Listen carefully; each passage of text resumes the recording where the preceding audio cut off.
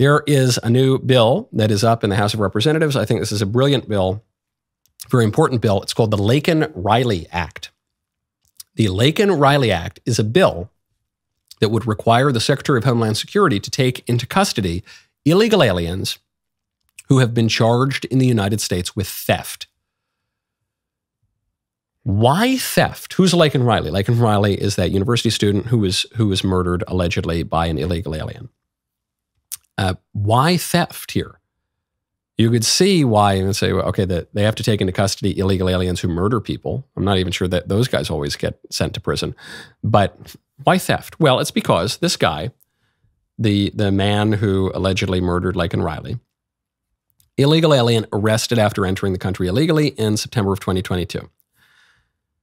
Fast forward to 2023, the guy gets arrested in Queens, New York, for endangering a five year old son.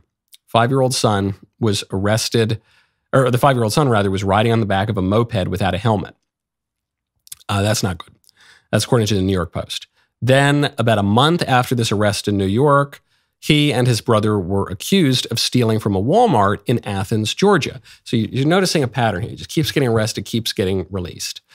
Uh, when he gets arrested for shoplifting, he's given a little citation for misdemeanor shoplifting and he's let go. And then allegedly he murders this poor girl. So, what's urgent about this act is we need to stop these criminal aliens from killing innocent Americans. We need to stop the invasion of foreigners across our border that Joe Biden is encouraging. But what's really brilliant about this act is one, who could disagree with this? An illegal alien gets charged with a crime and they have to be taken into custody. They have to be arrested. We're not even saying deported, just they have to be arrested. What Democrat can say, no, no, we support the right of illegal aliens to shoplift? No, no, Democrat. I don't care how crazy you are. You, you can't really say that with a straight face. And then the second thing that's brilliant about this is it's called the Laken Riley Act, and it puts a face to it. The Democrats are really, really good at putting faces to problems. Look at Tim Kaine. Tim Kaine is inviting the first person born via IVF. So we think, oh, that's good. That's good that that person exists.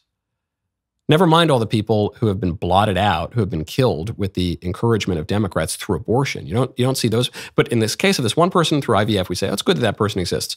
You don't see the face of the babies who were then aborted because of the IVF and surrogacy industry. You don't see the face of the babies who were intentionally deprived of their mothers or their fathers because of the IVF and surrogacy industry. You don't see the people being bought and sold. You don't see, you just see the really the nicest aspect of the thing. And then when it comes to illegal immigration, what happens? I mean, even more at the State of the Union, you, you don't see the faces of the babies who are being killed. It's just the mothers who got to have their rights, and oh, we're putting that person there in the gallery to highlight them during the speech. Okay. Case of illegal aliens, though, who do, we never see the faces of the victims of the illegal aliens. We're all, in a way, victims of the illegal aliens because they're violating our most basic laws and undermining our right to self government. But, but you don't see the victims of the, the people who are killed. You just see the dreamers, the poor, helpless foreigners. Give us your unwashed masses. No. What this act does is says, no, there are real victims here. They need to have even some basic modicum of justice. And we dare you, Democrats, to vote against it. Right now, go to goodranchers.com, promo code Knowles. Did you know that mRNA vaccines are approved for use in pigs in the US? Blech. Not to mention, 85% of the beef sold in your local grocery store is imported. In fact, over 5 billion pounds of meat was imported just last year. The mystery continues to grow in the meat industry, and every day I am more thankful for my Good Ranchers subscription. I don't have to worry about imported meat or unknown vaccines and the food I feed to my family every day. During their Say No to mRNA sale, Good Ranchers is offering you a free 10 pound Easter ham with any subscription. Their ham is fantastic, and unlike the pork at the store, it is guaranteed to be free from mRNA vaccines. This is a $119 value that you will get for free with code Knowles, K-N-W-L-E-S, at goodranchers.com. What I love about Good Ranchers is that it's the uh, best quality meat out there and the price is just unbelievably low. But the second thing I like most about Good Ranchers is their commitment to transparency. They think you have a right to know exactly what's in your food, and they're not afraid to show you. These guys are the best. Go to goodranchers.com, use code Knowles, K-N-W-L-E-S, to get your free Easter ham today. Every subscription will come with a free Heritage ham, 25 bucks off, and Good Ranchers lifetime quality commitment. Goodranchers.com, code Knowles, Good Ranchers, American meat delivered. Big night for President Trump. He won basically every single state. Uh, there was one exception to that. Nikki Haley won Vermont. Otherwise, Trump won everything. Here is President Covfefe's victory. Well, thank you very much. They uh, call it Super Tuesday for a reason. This is a big one.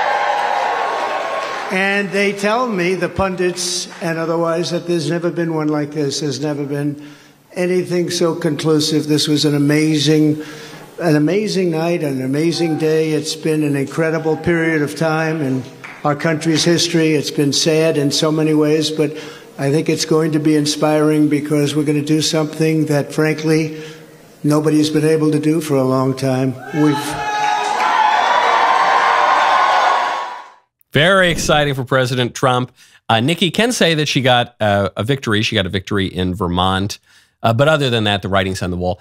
As of this moment, as we are recording this show, Nikki Haley has not dropped out of the race, uh, but she is going to. Every outlet is reporting that she is, is set to make a speech sometime this morning. So I've instructed the producers. I've said, hey, producers, uh, go out there, find Nikki Haley's speech uh, if it happens, pipe it in live. Otherwise, we'll get to it tomorrow. There won't be any news breaking. We all know it's going to happen. It, you know, if not now, it'll it'll be tomorrow. If not tomorrow, it'll be the next day. But it is going to happen.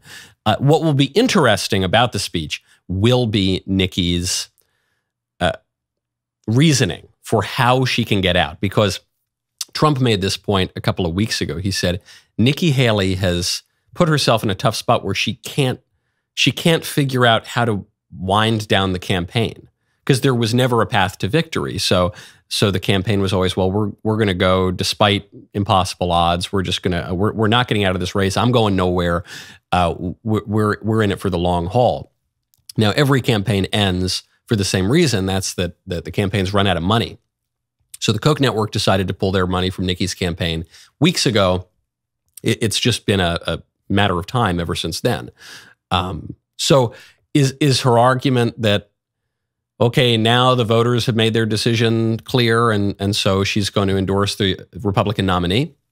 Well, she just came out and said she might not endorse the Republican nominee, despite the pledge to endorse the eventual nominee, which was the the way that she got into the debates in the first place. Is she going to say, "I'm not going to endorse the Republican nominee"? Okay, well, what's she going to do then? She's going to throw away her vote. She's going to endorse Joe Biden. I can't imagine that. So I just It'll be very, very interesting to see what the reasoning there is. But in any case, uh, you know, I, I know uh, a lot of people are not happy with Nikki Haley for sticking in the race this long, but I think it's pretty impressive. The woman was uh, considered a super duper long shot candidate when she first announced her candidacy. Everyone thought that the stronger candidates would be people like DeSantis, certainly, even Vivek. Uh, some suggested Chris Christie and a Chryssance, Mike Pence. There were others on there. Uh, people put Nikki Haley pretty low on the list, and she made it to the number two spot. So, you know, good for her, but all things must come to an end in this life, and some sooner than others. And looks like Nikki's campaign is headed in that direction. So, Trump uh, has now effectively secured the nomination, but not not officially secured the nomination. There are still more more votes to go. Uh, the Super Tuesday contests awarded more than one third of the Republican delegates, which means that they awarded more than 70% of the number of delegates that you need to secure the nomination. In his speech, you heard a part of it there. I don't even think he mentioned Nikki Haley. So it is over. Man, what a great clip that was, huh? It was good, wasn't it? We can we can be honest with each other. Well, if you agree with me and you, then you got to ring that bell. Subscribe. We'll see you next time.